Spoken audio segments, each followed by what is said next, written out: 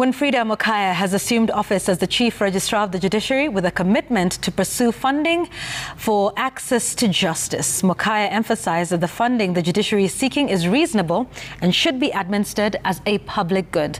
Among her other priorities is support in implementation of the social transformation through access to justice blueprint. The event was graced by Chief Justice Martha Koome and her predecessor, uh, uh, David Maraga, amongst other government officials. I have been at the forefront of the administration of justice and understood the aspirations and expectations of the Kenyan people on the judiciary.